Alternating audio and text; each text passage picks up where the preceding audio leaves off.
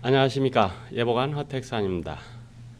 아, 현재 서해상에는 고기압이 위치해 있고 어, 오후치케부터 동해 북부 해상으로 고압대가 발달하여 동해상에는 동풍이 지속적으로 불어들어오겠습니다. 아, 오늘은 동해 북부 해상에 위치한 고기압의 영향으로 전국이 대체로 맑다가 오후에는 그 가장자리에 들면서 구름이 점차 많아지겠습니다.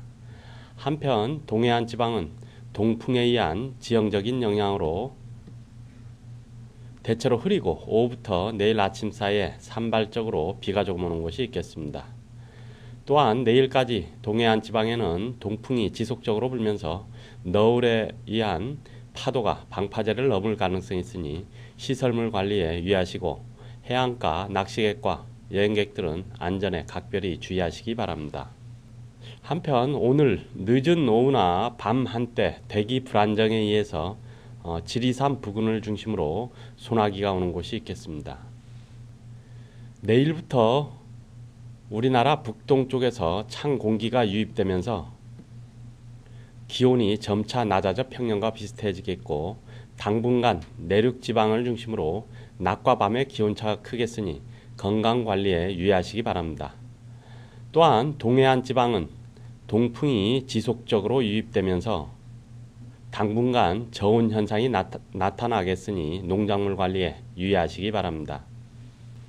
오늘 늦은 오후에 남해 동부 먼바다를 시작으로 내일은 동해 전해상에 바람이 점차 강해지고 물결이 높게 일어 풍랑특보가 발표될 가능성이 있겠으니 항해하거나 조업하는 선박은 앞으로 발표되는 기상정보에 유의하시기 바랍니다. 오늘 밤부터 내일 아침 사이에 서해안과 중부 내륙 지방을 중심으로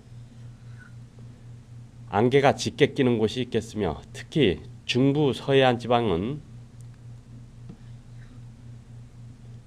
짙은 안개로 이슬비가 내리는 곳도 있겠으니 교통 안전에 유의하시기 바랍니다. 현재 서울, 경기도와 강원도 영서 남부 내륙 일부 지방에 건조주의보가 발효 중인 가운데 대기가 매우 건조하겠으니 화재 예방에 각별히 유의하시기 바랍니다. 지금까지 기상청에서 전해드렸습니다.